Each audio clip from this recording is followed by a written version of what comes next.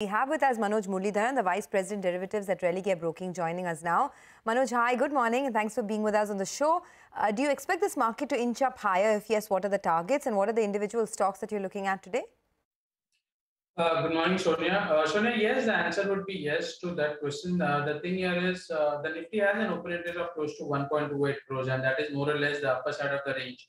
So what we saw in the last trading session on Friday was there was some profit booking, though the quantum was less, hardly one, one and a half percent. But uh, we have seen good activity which has happened into the index option side rather than the future. So generally, when you get an option trade more than a future, the trade is that you know the dip becomes a buy. So we believe uh, at least 17, 750, that's a good level to go positional long for a target of 18,000. Stop loss should be 100 points on the downside. So you can use a 15 September call option of 17,800 when the Nifty corrects closer to 17,750.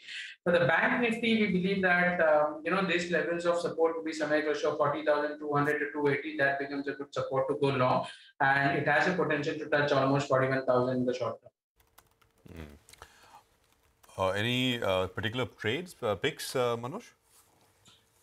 Yes, I guess IT, there is good index management, if I might say, you know, that is going on. And IT as a sector, we have seen short covering majorly, but then a couple of stocks like HCL Tech has a good potential of a good 3 to 4% more on the downside. So use an option trade for that. Select a 960 strike and try to buy between a 16 to 18 um, uh, as a premium. Stop loss should be, let's say, 10 on that and a target of 30 on that.